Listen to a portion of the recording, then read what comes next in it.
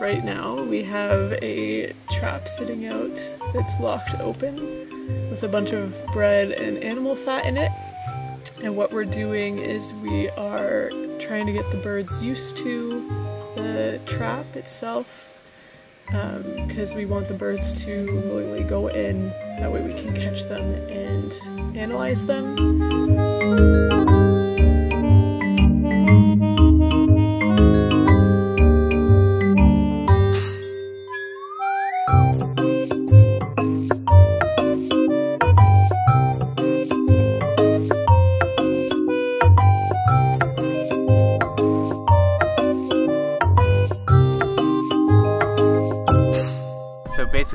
In Algonquin we monitor the gray jay population. So each year we conduct a fall population census where we try and just record all the individuals in the area and that's what we're doing right now. The gray jay is a pretty remarkable bird. Um, so one, it's found in every province and territory in Canada.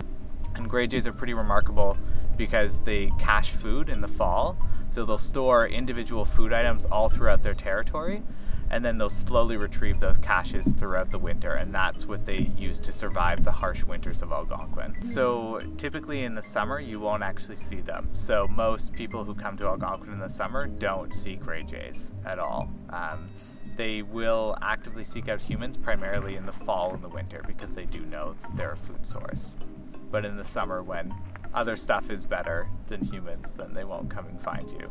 Uh, something that I'm not really studying, but I am interested in, is their personalities. So the Jays have a huge spectrum of personalities. You'll have a super shy, timid Jay who will just stay at the top of trees and make little noises at you, sometimes make alarm calls at you. Whereas you'll have another Jay that will land on your head, land on your hand, start opening your backpack, like start stealing food that you're trying to eat. There are kind of these anecdotal reports um, throughout like logging times and things like that of gray jays coming to uh, logging camps and actually stealing food and stuff like that. Gray jays have many names, so um, they're commonly called whiskey jacks, Canada jays, gray jays, but then they also have the name camp robber. So you have to kind of assume that it's innate at that point if they have that name.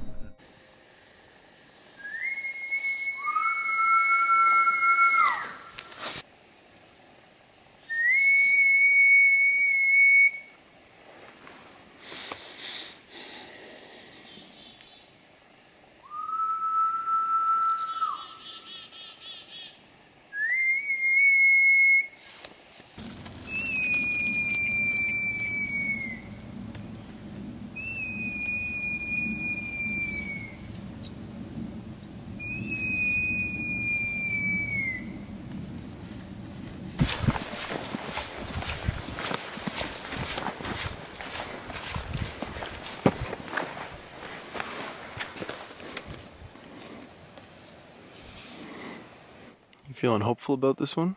Hopefully. Never know exactly what happens, but it should be pretty good, hopefully.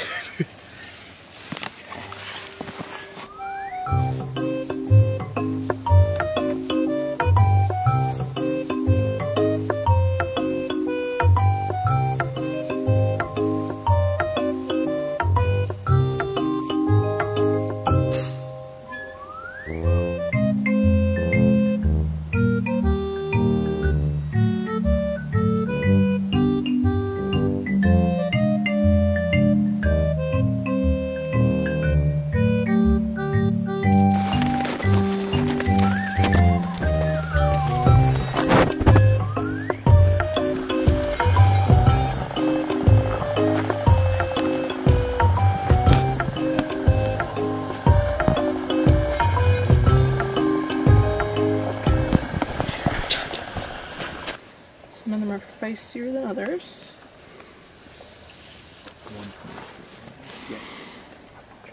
So what I do to take a blood sample is I just sweep aside its feathers to expose the brachial vein.